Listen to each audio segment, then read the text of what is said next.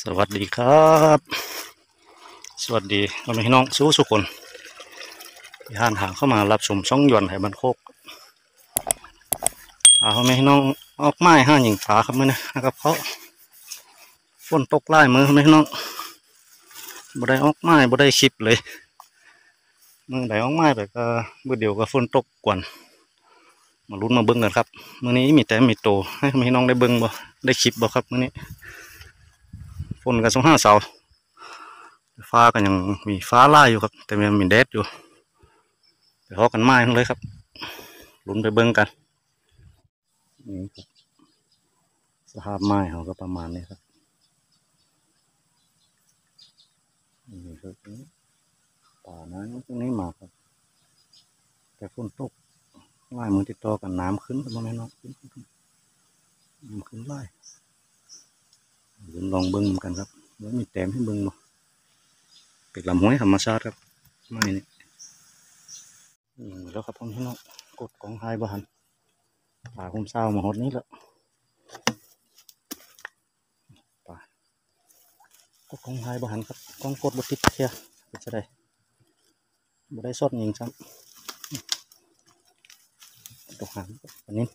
ใหญ่เติบอยู่ ป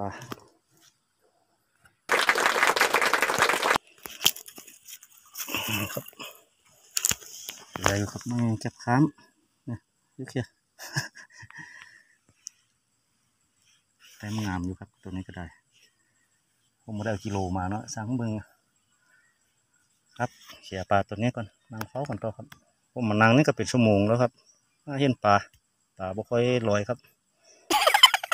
มุนกันมืออีกมีเต็มต่อไปบ่ครับยายมุ่งนังนี่ก็ครับเงียบแล้วนังหึ่งแล้วครับเงียบเลยอดอย่างก่อน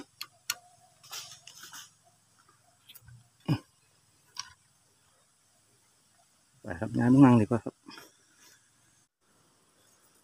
ยายนังนี่ก็เงียบป่าบัวลอยเอ้ย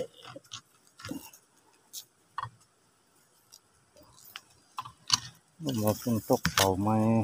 ป่าไหนลอยดีแล้วบัวลอยบนป่าป่าบัวลอยครับป่ามีอยู่ครับแต่ป่าบัวลอย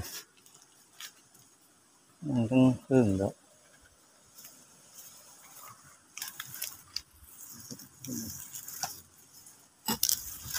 กลับบ้านเลยกว่าครับเนี่ยเขา